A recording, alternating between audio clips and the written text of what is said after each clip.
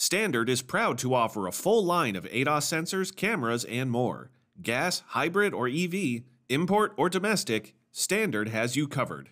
ADAS features use cameras, radar, laser, and or other sensors to detect and analyze what is around the vehicle. The control units use this data to alert the driver to potential dangers, and in some cases, the system can intervene to avoid a collision or keep the vehicle in its lane of travel. The function and design of ADAS features will vary greatly from one manufacturer to the next, but the end goal is always the same, safety. But when it comes to diagnosing, servicing, and or repairing these systems, many technicians will end up feeling intimidated. While it's true that ADAS features are very complex systems which require a number of sensors and outputs to all work seamlessly together, they are in fact no more complicated than performing a four-wheel alignment or adjusting the beam pattern on a headlight. So, where do you start? Make sure you have a clear customer complaint. Find out what they're seeing or experiencing and exactly when, how, or where it is occurring. Start by looking through the system menus inside the multimedia display or the gauge cluster. Check to see if any ADAS features have been disabled or turned off by the driver. Other preliminary inspection items include, does the steering wheel point straight ahead? Is there any evidence of a collision, body damage, or has a body panel been removed for recent service? Are the control modules up to date? Many driver complaints stem from a lack of understanding in how the system is intended to operate. Many drivers do not understand that proper road marking is required for these systems to work. And finally, another common problem occurs when someone changes the following distance or a guest driver disables an ADAS feature. Why would they do this?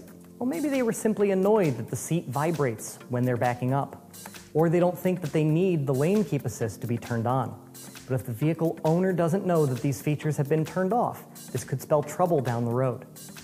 Here's the simple truth service information is the key to servicing ADAS systems.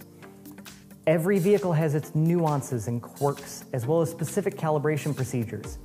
You must be able to not only read service information, but also comprehend the meaning.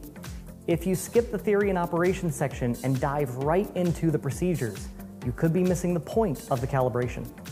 Knowing the why is just as important as the how. What skills do you need? The main skill you need is to be able to read and follow commands on a scan tool.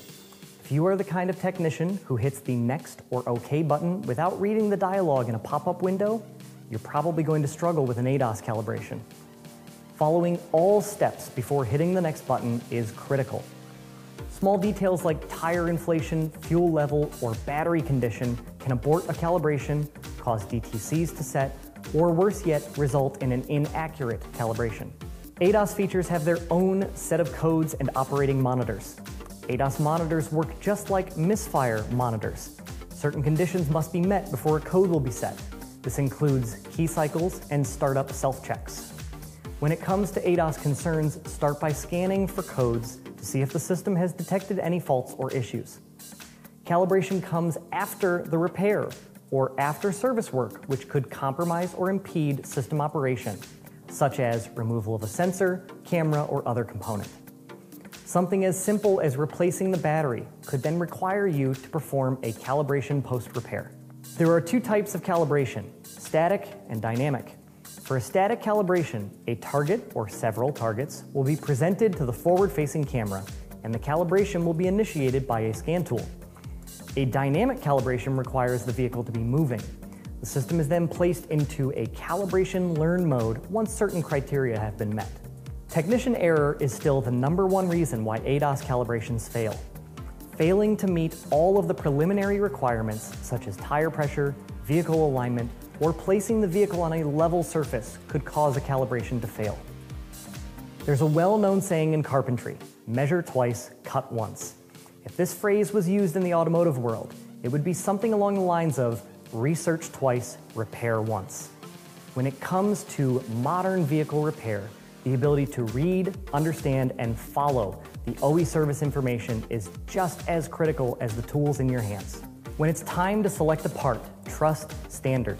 Standard offers a complete ADAS program with hundreds of part numbers, including park assist cameras, lane departure cameras, park assist sensors, steering angle sensors, blind spot detection sensors, and more. For more information, visit standardbrand.com. I'm Brian Sexton.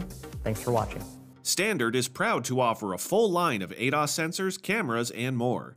Gas, hybrid, or EV, import or domestic, Standard has you covered.